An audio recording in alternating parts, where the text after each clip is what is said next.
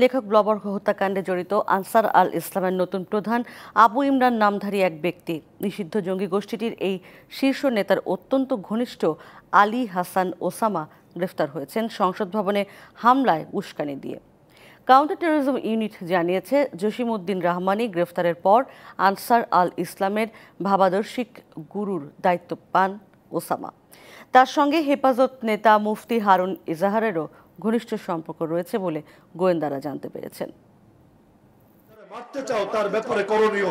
ফাদরিবু ফাওকাল আনা তার গদ্দারের উপর ধরে কোপ মারবি। আর যারা আহত করতে চাও, তার ব্যাপারে নির্দেশ হলো, ফাদরিবু মিনহুম কুল্লা বানান, প্রত্যেক জোড়ায় জোড়ায় এভাবে ধর্মের অপব্যাখ্যা দিয়ে অনুসারীদের সন্ত্রাসী হামলা চালাতে দীর্ঘদিন ধরেই উস্কানি দিয়ে আসছেন আনসার আল ইসলামের ভাবাদর্শিক গুরু আলী হাসান ওসামা।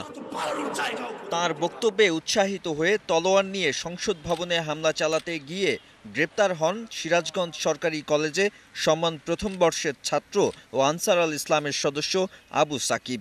পরে রাজবাড়ী থেকে ওসামাকে গ্রেপ্তার করে counter terrorism and transnational crime unit সিটিটিসির কর্মকর্তারা জানান দু হাজার তেরোতে জসিমুদ্দিন রাহমানি গ্রেপ্তার হয়ে কারাগারে থাকায় তার জায়গায় জঙ্গি গোষ্ঠীটির আধ্যাত্মিক নেতার দায়িত্ব নেন ওসামা।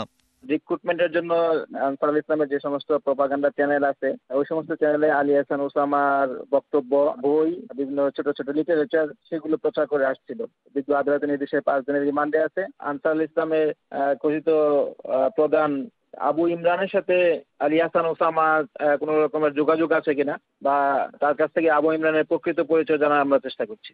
পুলিশ জানিয়েছে নাশকতার মামলায় আগেই গ্রেপ্তার হেফাজত নেতা হারুন ইজহারের সঙ্গেও ঘনিষ্ঠতা রয়েছে ওসামার। আলী হাসান ওসামা উনি রাজবাড়িতে একটা মাদ্রাসা করছেন নাম মার্কাজুল ইমাম আনোয়ার শাহ কাশ্মীরি আমরা ওখান থেকে যে সমস্ত কাগজপত্র জব্দ করেছি আমরা জানতে পেরেছি যে ওই মাদ্রাসার পরিচালনা বোর্ড এই পরিচালনা বোর্ডের উপদেষ্টা হিসাবে আছেন মুফতি হারুনি জাহার বোঝা যাচ্ছে যে হারুনি জাহারের সাথে তার একটি আদর্শিক যোগসূত্র আছে। আদর্শিক যোগসূত্রটা আনসার ইসলামের সংগঠনের সাথেও হারুনি জাহারের যোগসূত্র আছে কিনা, সে বিষয়ে আমরা তাকে জিজ্ঞাসাবাদ করব। স্লিপার সেল বানিয়ে লেখক ব্লগারদের টার্গেট করে হত্যায় জড়িত আনসার আল ইসলামকে দু হাজার সতেরোতে নিষিদ্ধ করে সরকার। Nadim Mahmud, DBC news, Dhaka.